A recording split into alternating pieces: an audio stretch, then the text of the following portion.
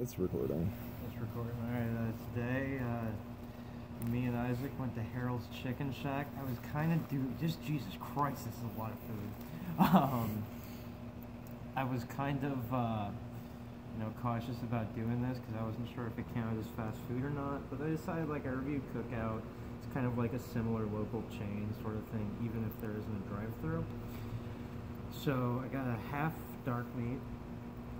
Um, comes with uh, the chicken, two pieces of white bread, truly a you know, classic. They seem a little bit super superfluous with all the fries. Uh, this is a lot of food. Then uh, some sort of sauce. Um, man, Jesus Christ, this was like six bucks too. Holy shit. Um, all right, well let's start with a fry before getting to the main. The fries have soaked up the sauce. They've been in my car for half an hour now. Um, they are not crispy. I am not certainly not judging them on that. Um, they should not be crispy at this point. I do not expect them to be. Pretty good. never. They're a little bit mealy though. Um, Yeah, this is a mealy batch. Try a piece of the bread with sauce. Mm. It's good. Yeah. Tastes like the sausage white bread. There's nothing special about this. Kind of like if Lem's barbecue but with chicken instead of beef. Man, those bucket of beef tips were really fucking good though. Or was it beef or pork? I don't remember. Um, a little bit of, a little bit of skin.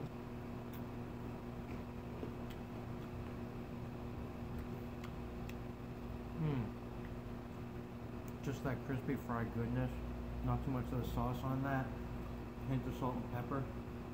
Hmm. Yeah, this definitely has the affect of fast food. If I were to say so myself, I'm probably misusing that word.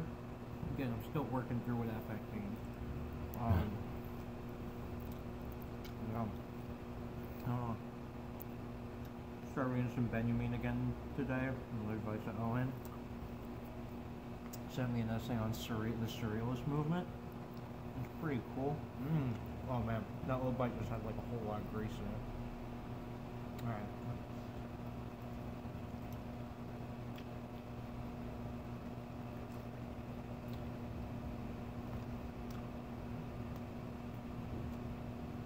Mmm, that is really good. Mm. Chicken is well brined. You know, really just look at that. Mmm, dark meat. Juicy, the inside's flavorful. It's not just the skin giving it. Mm, oh yeah. But no, the surrealist stuff's kind of interesting. I'm still trying to work my way through it. Benjamin's always kind of difficult to parse through because the language is so kind of like not eloquent or whatever, but like you know, kind of. It seems much more kind of like uh, not abstract, but flowery, wishy-washy than it is, and kind of makes you forget that Benjamin really is like a hardcore materialist. Um, me and Justin were talking about that. Like, very aggressively affirms that like aesthetics and politics, aesthetics and like art and academia need to be very firmly rooted in sort of like economic and political conditions. Um, like parts of this article make kind of, or essay makes sort of an argument for, a, oh yeah, look at that. Mm, no cartilage. I thought there was cartilage, but, but yeah, um, make like the argument that like revolutionary intelligentsia needs to like not only exist in the world of kind of metaphor and contemplation, um, which is like kind of yeah, contem- thinking through kind of like overthrowing the bourgeoisie, and you to engage in the world of like politics and images. Um, I wasn't sure how this related to the surrealist movement, but it makes sense. It's kind of the reversal of like fascism being the aestheticization of politics, and instead of politicizing aesthetics, I think in a deeper way than is done now with the like all art is political, but rather like you must engage. Like good art comes from con- like good art necessitates the artist or academic engaging in political and propagandistic work, but not of the like Oh yeah, let's move on to a drumstick right now. And go to fried stuff. That. Mm. Drumsticks are great. They're so easy to eat. It's like just fucking corn on the cob, but it's meat. Um, well, sure, the wing is more flavorful, but it's a pain in the ass. Hmm. What's the sauce? Oh, a tiny ass bit of slaw. That's Mm. um. uh, mm. Classic mayo sauce. Again, I prefer vinegar. I think I've talked about that uh, in the Raising Cane's one. But yeah, like I don't know, the propagandistic aspect kind of differs from socialist realism, I think. And like, because he also kind of necessitates this like very firm definition of kind of like radical freedom, which I think runs counter to making art for the purposes of a strict political program, and like tries to inhabit this weird middle ground that I think he says the surrealists did, but I could be wrong in this. Again, still parsing through it, kind of indigestible, which isn't bad. I think Fisher points that out for uh, Nietzsche. Mmm. Nice little tendon there. Nice and slimy. and Not too tough. Oh, thank you, Isaac. That's a good idea. Mm-hmm. Um, but yeah, like that freedom is worth like basically unlimited sacrifice, and when it exists, it needs to be utilized to its fullest extent, without regard to like practicality, which I'm really partial to. Not because like it's a feasible program, but because that sort of like unattainable horizon, I think is a good thing to kind of keep in mind. Humane sort of thing, like sure as for a practical program like the Green New Deal, which I kind of support. Oh man, I'm fucking cleaning this off. Let it fry. Oh yeah, nice and saucy. Yeah, this has a really good balance. I wouldn't mind like I don't know some like greens or something, like collard greens, even though those really aren't much healthier for you most of the time. Just to you know like color it up a bit.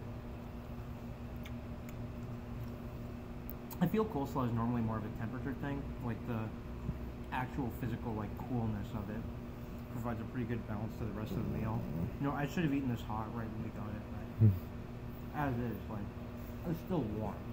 Um, and so I think it's that sort of like rather than like having a good taste, it's like very much textural and temperature. So like a good coleslaw is going to be cold and very crispy. Um, I think are the two kind of important aspects of it. But yeah, I don't know. I think that radical freedom, like the simplest sort of like motive behind revolution is liberation in every single aspect. Without a form of compromise is a good way to sort of look at it and avoid a lot of the traps of kind of like left nationalism and shit like that. And like of course like, you know, fascism and national socialism. Oh, I've always liked Benjamin a lot. He always has the best ending lines too. Like this is the storm we call progress and um uh, like the surrealist want to trade every kind of like human image for the face of an alarm clock that rings for 60 seconds every minute. I have no fucking idea what that means, but it sounds really cool. Mm. Yeah, this is great. I'm glad I reviewed it. Um,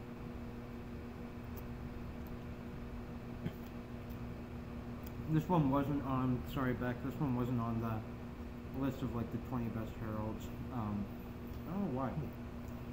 It is number 14. It is apparently number 14. In case you didn't hear Isaac say that. Harold's Chicken, number 14. Not Harold's not best 20, number 14. Um, yeah, excellent meal.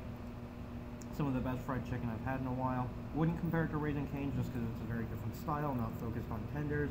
But like, I mean, it blows KFC out of the water easily, even Popeyes. Um, it still doesn't top back home, uh, back in North Carolina. I still call NC home. Uh, is um, this place called Bonds. It's like this hole in the wall Chinese Vietnamese place. But it has like these fried, like spicy chicken wings that are incredible. Like they feel like they've been bruned for like 48 hours. sort of crispy, sort of chewy, and like actually sweet and spicy. Or like for seven bucks, bucks for like a massive plate of like rice, and it was like trading out. It's like this much food, but trading out the fries for the rice. Yeah. Mm. Overall, I'd rank this pretty high. Yeah. Happy, uh, happy days. I think we're good.